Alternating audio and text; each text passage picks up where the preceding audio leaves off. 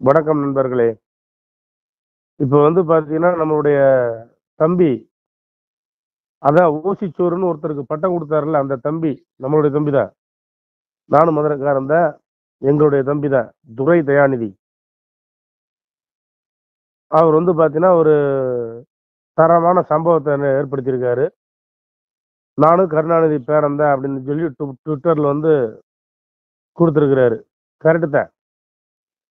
ஏன்னா அழகிரி பையன் அவரும் வந்து கருணாநிதி பேரன் இப்போ வந்து பார்த்தீங்கன்னா ஸ்டாலினுடைய பையன் பார்த்தீங்கன்னா அவர் உதயநிதி. ஒரு ஒரு இளவுக்காகாத உதவாத நிதி. இந்த நபரை வந்து பார்த்தீங்கன்னா தூக்கி பிடிச்சிக்கிட்டு போன வந்தவன் வயசு கடந்து சாக போகிற வரைக்கும் வந்து போய் காலில் விழுகிறாங்க காலில் வந்துட்டு அப்படியே தூக்கி பிடிக்கிறானுங்க. இதில் பதிமூணு ரயில் பெட்டியில் வந்து அப்படியே கோக்குறாங்க அப்படியே.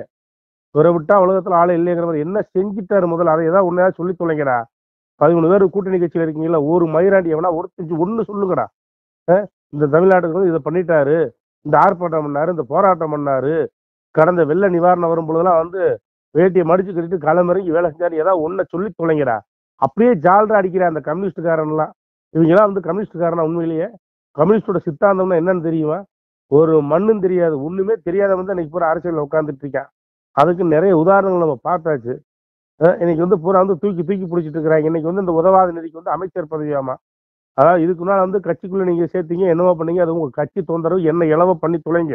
ஆனா அமைச்சருங்கிற வந்து நாட்டுக்குரியது. இதுக்குள்ள வந்து எப்படி உங்க மகனை நீ கொண்டு வரலாம் உதயநிதியை? இதுக்கு நீங்க வெக்கப்பட வேணாமா? நீங்க வெக்கப்பட மாட்டீங்கிறதுலாம் தெரியும் அது வேற விஷயம். ஆனா நீதி நியாயம் ஒன்று இருக்கா இல்லையா?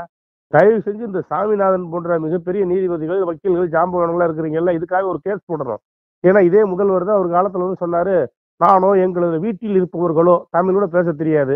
வீட்டில் இருப்பவர்களோ யாரும் வந்து இங்க நாங்க அரசியலுக்கு வரமாட்டோம்னு சொன்னார்ல இன்னைக்கு எப்படி ஒரு வந்து பதவி கொடுக்கலாம்? எந்த ஒரு இதுல வந்து ஒரு பதவி கொடுக்குறாரு முதல்ல? முதல்ல உள்ள வந்தது முதல்ல தப்பு. முறவா சூழலியா கூட்டு கூப்பிட்டு உள்ள வச்சுக்கிட்டு இல்லாத அழிச்சாட்டெல்லாம் பண்ணி அநியாயம் பண்ணிட்டு இருக்கிறாங்க.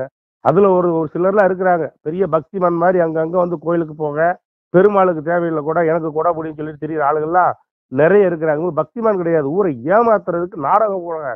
Bulgaro Grupo